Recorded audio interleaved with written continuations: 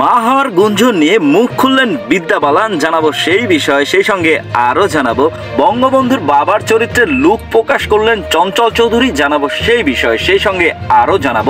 কুমিল্লার মানুষকে নিয়ে আপত্তিকর মন্তব্য করলেন আচল, যা নিয়ে পড়লেন তোপের মুখে, জানাব বিস্তারিত। তো প্রথমেই আসি বিদ্যা বালানের গসিপসে দু সালে সিদ্ধার্থ রায় কাপুরকে বিয়ে করেন অভিনেত্রী বিদ্যা বালান যদিও বিয়ের এগারো বছর পরেও সন্তান নেননি তারা। তবে ব্যক্তিগত জীবন গোপন রাখতেই ভালোবাসেন এই অভিনেত্রী। এদিকে গুঞ্জন উঠেছে বলিউড অভিনেত্রী বিদ্যা বালান, তার মা হওয়ার খবর এতদিন লুকিয়ে রেখেছিলেন। এই প্রসঙ্গে সম্প্রতি মুখ খুলেছেন জনপ্রিয় এই অভিনেত্রী। হিন্দুস্তান টাইমসের প্রতিবেদন অনুযায়ী সম্প্রতি এয়ারপোর্টে এক কিশোরীর সঙ্গে বিদ্যা বালানের কিছু ছবি নেট দুনিয়ায় ভাইরাল হওয়ার পর গুঞ্জন উঠেছে। ইতিমধ্যে এক কন্যা সন্তানের মা হয়েছেন বিদ্যা বালান। তবে এক সাক্ষাৎকারে এই বিষয়ে বিদ্যা সব গুঞ্জনে পানি ঢেলে দিলেন। এ সময় তিনি বলেন, আমার মা হওয়ার গুঞ্জন শুনেছি। কিন্তু আফসোস, আমি মা হইনি। এটি আমার বোনের মেয়ে। সাক্ষাৎকারে বিদ্যা আরও বলেন, আমার বোনের যমজ মেয়ে। একজনের নাম রুহান আর অন্যজন ইরা। এয়ারপোর্টে আপনারা আমাকে ইরা সঙ্গেই দেখেছেন। সম্পর্কে খালা হলেও আমি ওদের খুব ভালোবাসি। বিদ্যার মুখে এমন খবর শুনে অবাক হয়েছেন অনেক নেটিজন। কেউ কেউ তো আবার হতাশ হয়েছেন, কারণ ব্যক্তি জীবনে কবে সত্যি সত্যি নায়িকা মা হবেন, এমনটাই এখন প্রশ্ন বিদ্যা বালানের ভক্ত ও শুভকাঙ্ক্ষীদের। তো এবার আসি চঞ্চল চৌধুরীর গসিপসে আগামী তেরো অক্টোবর মুক্তি পেতে যাচ্ছে চঞ্চল চৌধুরী অভিনীত সিনেমা মুজিব একটি জাতির রূপকার। সেখানে বঙ্গবন্ধুর বাবা শেখ লুৎফর রহমানের মধ্যবয়সী চরিত্রে অভিনয় করেছেন আয়নাবাজি খ্যাত এই অভিনেতা।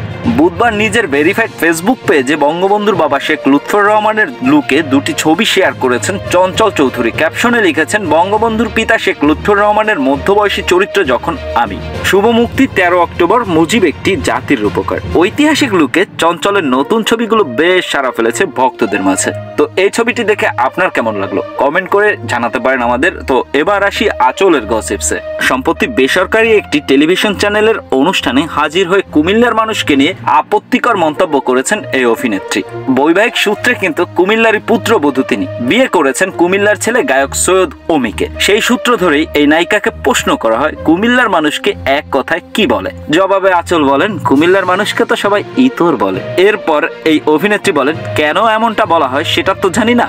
কিন্তু আমাকে যখন কেউ জিজ্ঞেস করে শ্বশুর বাড়ি কোথায়? এর জবাবে যদি বলি, ইতর। তাহলেই বুঝে যায়। এরপর তারাই বলে, ও আচ্ছা কুমিল্লা। সেই সাথে যোগ করে তিনি আরও বলেন, আমার মনে হয় কুমিল্লার জন্য এই শব্দটা ট্রেডমার্ক করা। তবে সেদিক থেকে কুমিল্লার ছেলে হিসাবে নিজের স্বামীকে প্রশংসাও করেন এই নায়িকা। আচল বলেন, আমার স্বামী অন্য জগতের মানুষ। সে খুব চুপচাপ শান্ত। সবসময় মিউজিক নিয়ে থাকতেই পছন্দ করেন। এদিকে নায়িকার এমন মন্তব্যে সামাজিক যোগাযোগ মাধ্যমে ব্যাপক প্রতিক্রিয়ার সৃষ্টি করেছে। ওই ভিডিওর কমেন্ট বক্সে কুমিল্লার মানুষরা নিজেদের জেলা নিয়ে বিভিন্ন ইতিবাচক মন্তব্য করেছেন। সেই সঙ্গে পাবলিক প্ল্যাটফর্মে একজন নায়িকা কোনো জেলা সম্পর্কে আপত্তিকর মন্তব্য রাখতে পারে না বলেও তারা মনে করেন। তো ভাই, এখন তো ছিল এতটুকুই। বিনোদনের সকল প্রকার নিউজ পেতে এখনই সাবস্ক্রাইব করুন আমাদের চ্যানেলটি ভিডিওটি দেখার জন্য ধন্যবাদ। সবসময় ভালো থাকার চেষ্টা করবেন। আল্লাহ হাফেজ।